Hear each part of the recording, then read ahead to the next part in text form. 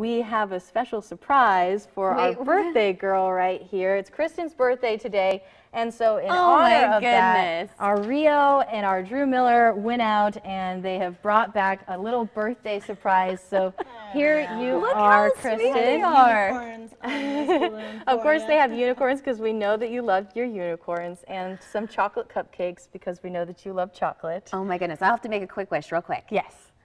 Happy birthday to you, Kristin. Oh, get There we all. go.